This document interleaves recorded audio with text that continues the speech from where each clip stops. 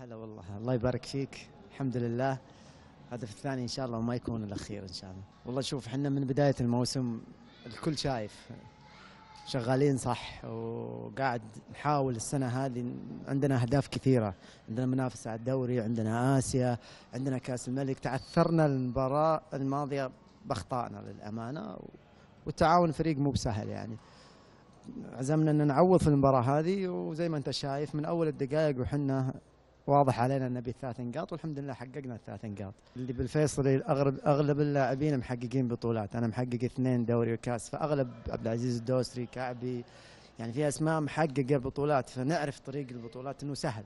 فوز يجيب فوز. فعملنا جهد كبير في المعسكر. أعيد وأكرر. عندنا إدارة ذو خلق عظيم وعندنا مدرب محترف.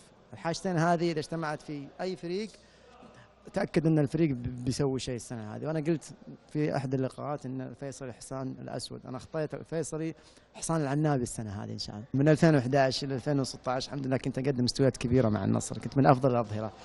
2018 إصابات وأربع مدربين وثلاثة رؤساء. العام الماضي حدثت لي مشاكل.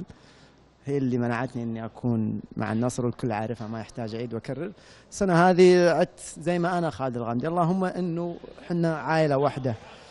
فلما نكون عائلة واحدة على قلب واحد الكل راح يسجل المدافع مع إن المدافع مش وظيفته التسجيل لكن دعم زملاء اللاعبين اللي قاعد يقدمون اللاعبين بالإدارة بالألف اللي صايرة بالفيصلي تاكد إن الكل راح يسجل وتاكد إن الكل راح يقدم مستوى كبير.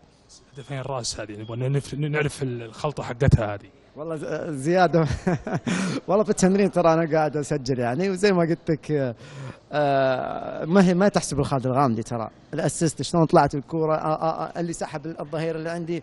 فهي مجموعة واحدة. الكلمة الأخيرة كانت الخالد تسجيل الهدف.